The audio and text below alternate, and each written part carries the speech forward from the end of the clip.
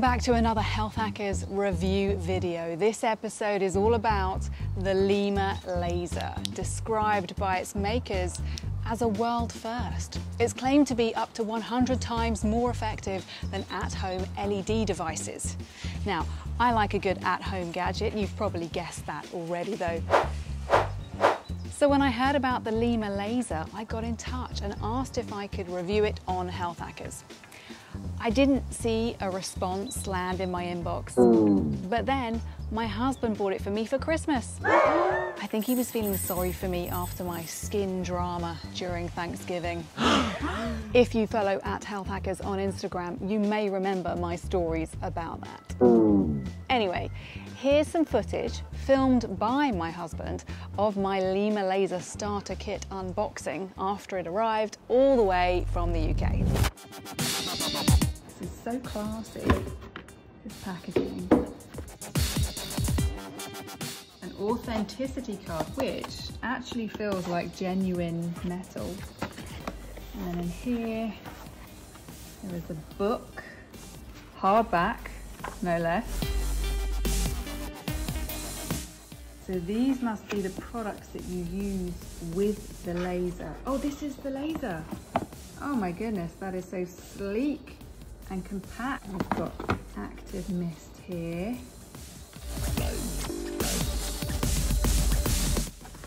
What's in here? So that must be, oh, a little sleeve, a sleeve for the laser. And then charging cable. Um, oh, something else. What's that? That's probably battery, battery charger.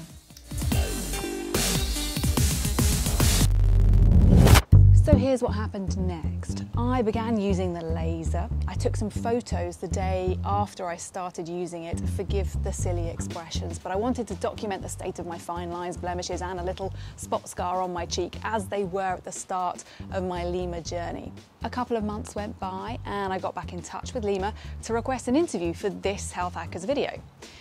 The answer was yes, and I got to have a chat with the company's founder, Lucy Goff. So when I was researching this laser, uh, it seemed to me that the skin benefits were discovered almost by accident. Can you tell us a, a bit about that story? Yeah, so uh, low level laser therapy was discovered um, in the 1960s, and scientists were very excited when they discovered all the benefits from low level laser therapy for wound healing and um, uh, dealing with uh, issues that are going on beneath the surface of the skin, so rebuilding cartilage, healing tendons.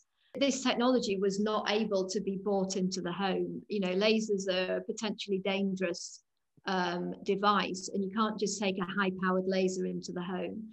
So it never caught on in the skin regeneration market because it wasn't safe to be used in the home.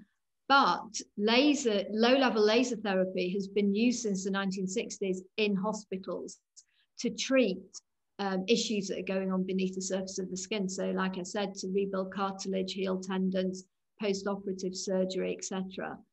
Um, and that's actually incidentally why scientists looked for an alternative light source that was suitable for the skin to use in the home. And that's why the LED market boomed. But um, fundamentally, LED light and laser light are two completely different forms of light. You know, an LED is a scattered light. It's you know you get these dramatic plumes that um, come out from from an LED machine. It, in effect, bounces off the surface of the skin. It's not able to penetrate through the skin with enough physiological power to transform it at anything other than surface level. But laser light is a gold standard of light and you know it's, it's a monochromatic light it's a light that runs in a straight line and is able to penetrate through all the layers of the skin past the fat and muscle tissue and have a physiological effect. So would you say that this laser doesn't fall into the category of at-home led devices? No no no. This late this is a not the same category of led it's like comparing um, a, a, beef to a chicken. It, it, they're two completely different light sources and they work off two very different premises. LED um, creates thermal damage to the skin, it heats the skin up in the process of renewal, it creates more collagen. But LED light can only uh, have an effect superficially. Uh, there is some evidence to suggest that some of the light will penetrate through the skin, but the problem is it's lost its physiological power. So when you say on the website that it's 100 times stronger than at-home LED devices, the Lyma laser is 100 times stronger than the kind of red light therapy lights that I've used yeah. on my skin so before. Lots of companies say, you know, oh, it's um, near infrared light. But when you actually look at the light source, it's near infrared LED light. It's near infrared laser light is very different to near infrared LED light. The way that this light works is as it penetrates through the um, th- through the layers of the skin and into the fat and muscle tissue beneath, it has a microscopic heat effect and uh, the cells are heated up to a very, very tiny controlled amount, something like a hundred thousandth of a degree. It's a very, very, very tiny amount, but very precise amount. And that's the exact amount that triggers a genetic switch inside your cells. And the cells that are associated with aging are switched off, and the cells that are associated with renewal are switched on. I know you've said it's a, a cold laser, but sometimes when I use it for a while, it starts to warm up and my skin goes, it, my skin starts to look a little bit flushed. Would you say that's a, a good sign? Yes, so that's your that's your circulation increasing. So it's called a cold laser because it's not um, it, you know you you have you ever had in clinic laser treatment I mean, it, it, you feel like your skin's burning. It's a very, very buzzy, hot sensation.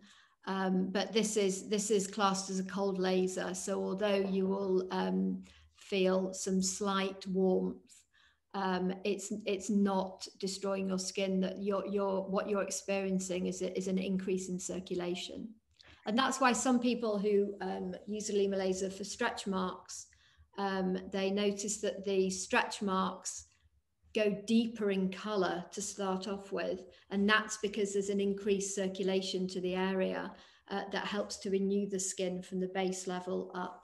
Oh, that might be what's happening with some red spots I get on my chin sometimes. When I laser them, I feel like they've become a darker red, but that would make sense. Yeah it's just increased circulation. So what you're doing and especially with the two products that you use alongside the Lyma laser the active mist and the and, and the priming serum um, they've got um, they've got very high amounts of highly bioavailable oxygen in them and that also increases the circulation in the area so my understanding is the Lyma laser can be used for acne, rosacea, wrinkles, sagging, cellulite scars, thread veins, bruises, hyperpigmentation and eye lifting.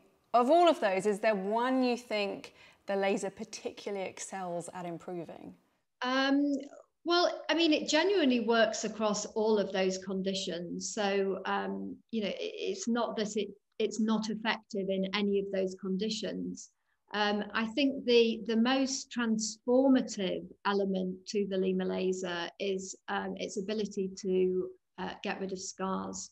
You know, from a transformative um, perspective, I think that um, you know getting rid of a scar is, is is a lot more powerful than maybe reducing the size of a wrinkle. The before and after pictures on your website are so impressive. If someone is using the laser and they don't see results like that, what could be going wrong? There's nothing going wrong. Um, I think that you know everybody start first of all it's tackling a whole host of, of, of, of skin issues uh, and everybody's got different skin and every journey is going to take a different amount of time you know we we put 12 weeks in there because um, it's you know it, it it it seems to be that for uh, the majority of cases that that seems to be the, the, the sweet spot.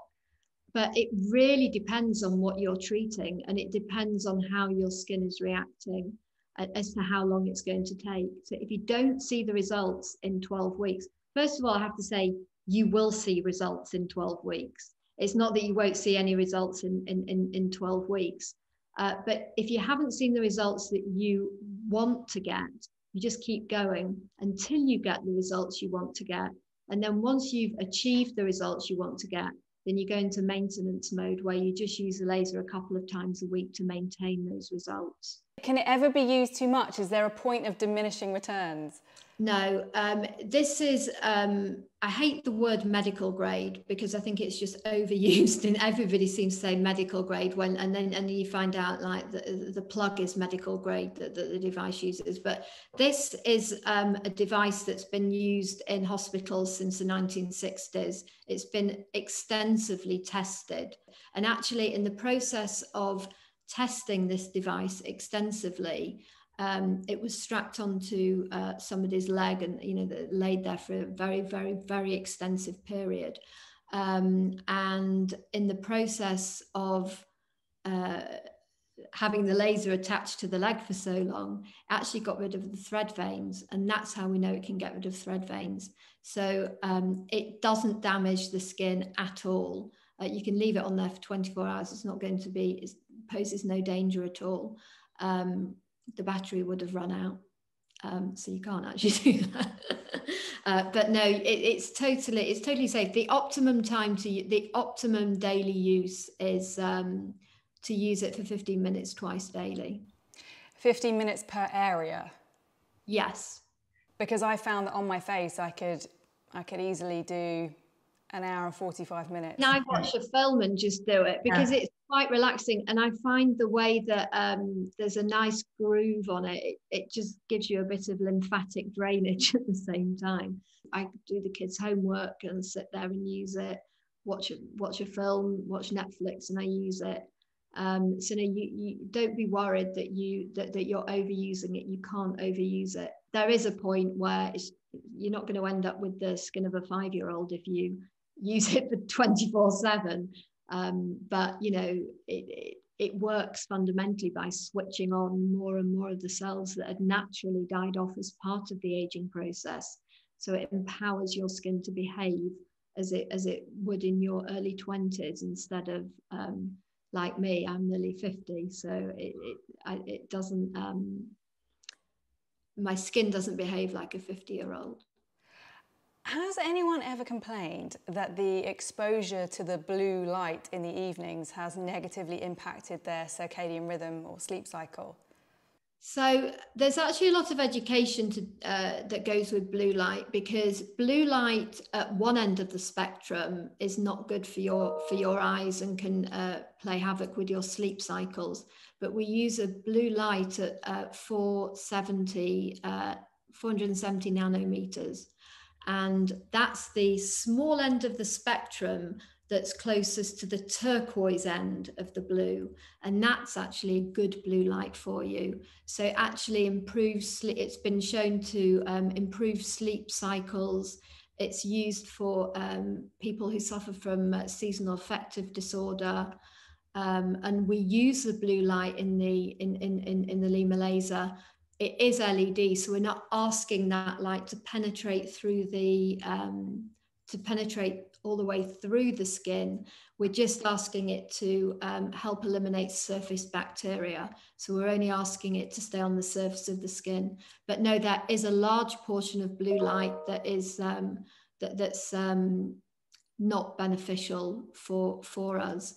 But as you move towards the turquoise end of the spectrum, there's a small spectrum of blue light that's actually very beneficial. And that's uh, what the Lyma laser falls into. Beneficial even at night time? Yes, yeah. Um, let's talk quickly about the products that come in the Lyma Laser Starter Kit. So I have quite sensitive skin and I try to be very cautious about new products. Your skin looks amazing, by the way. I, have I mean, it's, it's, a lot of makeup as well today. Um, so I introduced the mist and serum slowly and I've mostly been using the laser with my other skin products. Does that mean I've ruined everything and won't see great results? It doesn't mean that you've ruined everything. It just means that you won't get the maximized results that you would if you use the active mist and the priming serum. They're not conductor products, so it's not it's not they're not products that can be replaced by anything else. Um, after cleansing, you should use the uh, active mist, and the the mist is um, it's got the highest amount of oxygen scientifically possible in water. So it's 36% um, oxygen and it's presented in an O4 form, which is the form that your skin can actually absorb. So your skin can't absorb oxygen from uh, normal water because it's presented in a gas form. So you start off with the mist that's got a very, very, very high level of uh, oxygen in it. Um, you then move on to the priming serum. And uh, again, there are three actives in there that help to prime your skin for the laser light. So um, there's more active stabilized oxygen that's delivered to the bottom layers of the skin. There's also low molecular weight beta glucans. And what they do is they send a message to the brain to say that the skin's been attacked even though it hasn't. They're derived from um, uh, baker's yeast. Um, so they send a message to the brain to say the skin's been attacked. So you send kind of more forces to the site. And what that does is it, it, it, um, it kind of hoovers up the debris in the skin. And then there's also um, OrcaStem technology, which is um, stem cell technology derived from Japanese orchids and that encourages the fibroblasts to communicate better. Um, so if you consider the laser as like the petrol in a car, so you know, even if you put the best petrol in a car, um, you still need the oil and water to fully maintain it. And the the two actives in particular, the active stabilized oxygen and the low molecular weight beta glucans, are rather like the oil and the water. So as your skin ages, it loses oxygen, which is one of the reasons why it's got no energy. Your cells have not got the energy uh, inside them to carry on. So they effectively kill themselves off. So by flooding the skin with oxygen, you're actually compensating for um, uh, uh, an element of, of that, that's been lost in the natural aging process that the laser light um, really feeds off um, to fuel your skin. So no, you know, you, you you're not gonna. Um, it's not going to not work if you don't use the products, but you definitely won't get the full effect if you don't use the products. You know, it might just take longer to get those results. Is there any cream or skin product that blocks or reduces the efficacy of the laser? No, um, I mean uh, there are some there are some cosmetics that um, that that, that um, block the UV rays, so like the sunscreen, but um, they don't block the IR end of the light spectrum. So they don't block the uh, infrared part of the um, of, of, the light spectrums. That, that that will get through anything. So no, there's no um, that there are no products that will block the laser light. Uh, if you are on certain medication, that can make you more sensitive to light. Um, one of the other reasons I didn't always use the Lyma topicals was because I pH tested them with some little home strips the mist came out as a pH 7 and the serum as a 6. This was when I was writing an article about skincare and pH levels, so I was suddenly mindful of everything I was using, testing everything yeah. in my bathroom. Um, and I wanted to aim for pHs nearer to the skin's natural level of about 5. Do those uh, pH values for the Lyma products sound correct to you, or did I get it wrong? In reality, um, the serum should have a pH of of, of, about six and the mist should have a pH of, um, of no more than five. pH was not a barometer that we used when we created the uh, mist and the serum. Some people um, go very much down the pH route, but we went down uh, the actives route and we wanted to get as many actives as we could I mean, bearing in mind that you know we would never launch it, we would never put a product out that was that, that was higher than like seven and a half or something like that. Um, but you know, your your skin, the skin on your the pH of the skin on your body uh, ranges from three to eight, you know, depending on where in the body you know you're, you're, you're, you're testing. So for your customers in the US, like me, would we need to have bottles of the serum and mist shipped every month from the UK? Yeah, so um, Lyma is uh, predominantly a subscription business. It's free next day shipping, so it, it just kind of comes automatically, and it's um, $149 a month for the um, for the mist and the serum. And have you faced criticism over the $2,500 price tag? And if yes, how do you tend to respond to that? I think you've really got to understand the technology that's gone in the Lyma laser. You know, it's not a cheap technology. It's not like you know, LED is a cheap technology. It's it's uh, you know it, it's not a, an, an expensive technology um, to to produce. And you know, by the same token with our supplements, you know, our supplements are $199 a month. Uh, but ultimately, the supplement industry, over 90% of the supplement industry doesn't work. It's, it's been proven not to work. So, you know, it's a shame that we are a supplement because we're compared to the rest of the market. So it's like, you know, with, with our supplement, we only use peer reviewed forms of each of the ingredients, which are a, a lot more expensive than organic. And by the same token, you know, there's very little legislation in the um, in the cosmetic market too.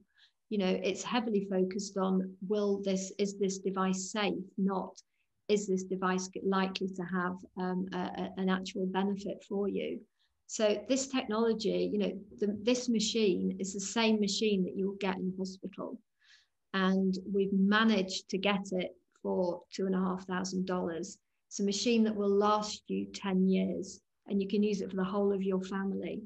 Um, you know, when the kids graze themselves, uh, you know, uh, if, uh, if, if you want to um, help with a scar, if you want to um, reduce pigmentation, you know, as your as, as kids grow up, they might get acne scarring, you know, you can use it on them. It's really a lifetime, um, it's a lifetime piece of equipment.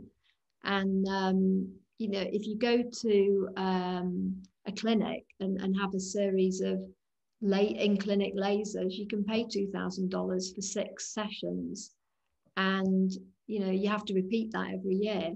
So Lyma, this, this, this device is really an investment. So it's an investment that you, that, that you make. It's something that you can keep on you all the time. You can use every day and you can really either prevent the aging process um, or well, you can sorry, you can dramatically slow down the aging process. And yes, it is a different price point to the rest of the skin renewal industry. It's a totally different piece of technology. I suppose it's tricky for people to know whether they're getting the real deal and you know, to spend that kind of money. Is there anywhere that you could direct people to? Do you have um, peer-reviewed studies or a section on your website where people can look at the science behind the laser? Yeah, so um, we've tried to distill the science on our website because it's quite um, it's quite daunting and, and I think that the supplement industry and, and the, the wellness industry as a whole um, tries to bombard you with science, half of which is just a game to think that you are actually buying into something that works. But I'm glad that you actually raised um, the fact that um, you know you're looking for peer-reviewed literature because ultimately that's the only literature to trust. You know, anyone can do a private clinical trial and come up with anything that they want. It doesn't mean to say it's actually going to be, it doesn't mean to say it's true. Um, but there's a very well respected um, craniofacial and, and plastic surgeon called Dr. Graham Glass. Uh, he was at Great Ormond Street um, for many years, um, helping to rebuild ch- uh, child's faces, you know, from cleft lip palates to to, to, to accidents. And um, he was very interested in the uh, Lyma laser technology and he's actually written uh, three academic papers on it that are um, one has been published in aesthetic medical journal sorry aesthetic surgery journal and the other two to be published later on this year so it has got peer reviewed literature um, to back it up not just for the laser but for the system as a whole and can people access that anywhere at the moment? Um, yes, the the first study um, it has been made public. Uh, the second two studies are um, are in press at the moment, so they'll be published at some point this year. But this technology, low level laser technology, has got thousands of um, peer reviewed papers to, to back it up. So, you know, fundamentally, outside of the Lyma laser, if you look at low level laser therapy, which is what it is, that's where the real peer reviewed literature is. Nobody else has managed to um, have an at home clinic grade laser, 500 milliwatt laser, combining the near infrared light and the blue light. So that is a world first. I mean, actually, just getting it into this machine took years. It, it was um, it was a very very um, challenging process. I reached my three month mark with the laser and I took some more photos to compare. You are looking at December 2020 on the left and March 2021 on the right. Bear in mind, I didn't use a super duper camera that picks up the finest of detail, but I've noticed my chin no longer has the cluster of red blemishes in the crease. However, I know the second picture does look like my lower face has larger spots than when I started using the laser in December. I would say though, skin is complex and those newer spots could have been down to hormones. Maybe they would have been worse if I hadn't used the laser. We'll never know. Looking at smile lines around my eyes, I'm struggling to tell if they have improved or if it's just the lighting, and I can't be sure if the little spot scar on my cheek has changed either. What do you think of these results? Can you see something I can't? I would love to hear your observations in the comments.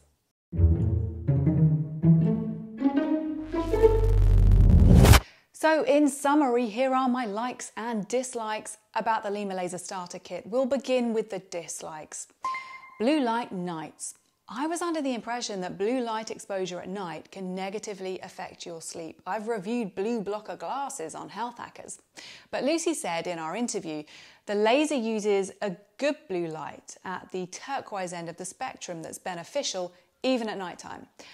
I got in touch with science writer Carlos Teo at SelfHacked. He's got a PhD in molecular biology and has written about the health effects of blue light in the past. Carlos said he found studies using the same wavelength that showed melatonin suppression and the resulting delay in the circadian rhythm. There are other factors that could affect this, such as light intensity or the duration of exposure. I told Lucy about Carlos's finding in an email, and she said the blue light in the Lyma laser will not cause fluctuation in melatonin levels if used at night, unlike blue light from screens. All I know is that I personally now prefer to use the laser in the daytime rather than nighttime, and that's my next dislike the time commitment in the morning can be a challenge. Mainly because I want to use it for longer than 15 minutes to get greater coverage.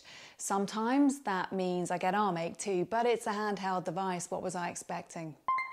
Finally, the serum and mist. I just prefer to use my own creams or oils for the reasons you heard me outline in the interview with Lucy. I also found that once the serum had dried on my skin, the laser didn't glide so well. And even the Lyma instructions say you can apply a moisturizer over the serum to help the laser glide more easily. Plus the fact, if I subscribe to regular deliveries of the serum and mist, it would cost me $149 a month. Now for my likes. The before and after photos on the Lyma website are impressive. Those alone make me feel very encouraged about the laser's capabilities. There's a lot you can read about low level laser therapy for skin issues online. Research may be ongoing, but much of what I've read appears promising. It does seem, though, that more studies are needed to be able to know which wavelengths might be best for particular uses. And finally, I like the way it feels. There's something relaxing about gliding it over my face, and it's said to be safe enough to use around the eyes so I don't have to wear goggles. It's also just nice to believe what Lucy said that it empowers your skin to behave as it would in your early 20s. I'd love that. This last point is neither a like or a dislike, it's about the price. Yes, $2,500 is expensive, but if the laser does last you 10 years, and if you do get skin improvements like the photos on the website, even if it takes longer than three months, then maybe that is a worthwhile investment. Ping me an email in 10 years and I'll let you know if I still feel the same way. That's it. Thank you for watching. Bye bye.